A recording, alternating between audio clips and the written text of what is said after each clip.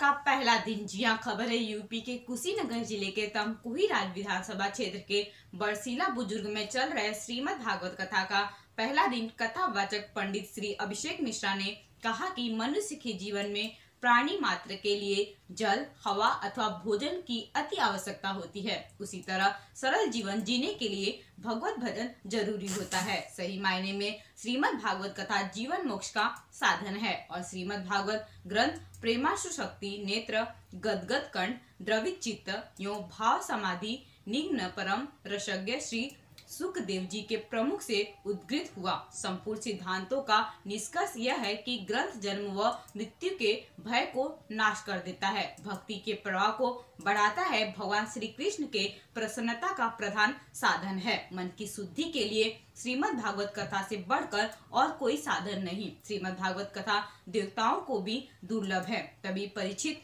जी की सभा में सुखदेव जी ने कथा मृत के बदले में अमृत कलश नहीं लिया। ब्रह्मा जी ने सत्य लोक में तराजू बात कर जब व्रत, यज्ञ ज्ञान तप, मूर्ति पूजा आदि साधनों को तोला तो सभी साधन तौल में हल्के पड़ गए। अपने महत्व के कारण भागवत कथा ही सब पर भारी रहा। उन्होंने बताया कि अपनी लीला समाप्त करके जब भगवान निज धाम को जाने के लिए उद्दित हुए तो सभी भक्तगणों ने प्रार्थना किया कि हम आपके बिना कैसे रहेंगे। तब भगवान ने कहा कि वे श्रीमद भागवत कथा में समाये हैं। यह ग्रंथ शाश्वत उन्हीं का स्वरूप है।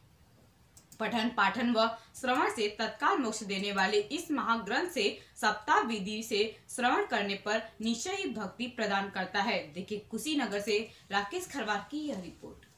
दीनि मालत्यादीनि वै प्रभो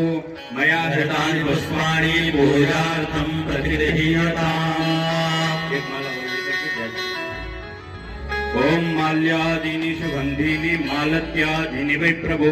मया हृतानि पुष्पाणि पूजार्थं प्रतिगृह्यताम्। बुद्धि है और ना ही धन है। उसका गुजारा कैसे होगा?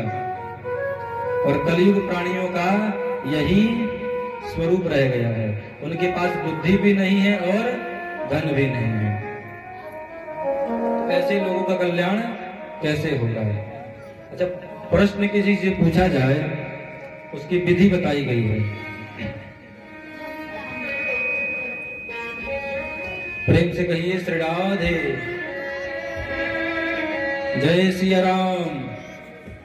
राधे राधे।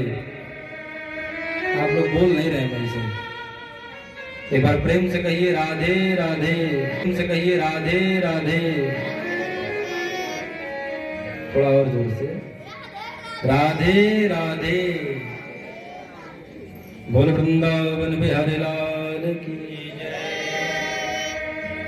सौनका जी अठासी हज़ार ऋषि सूद जी महाराज से प्रश्न करते हैं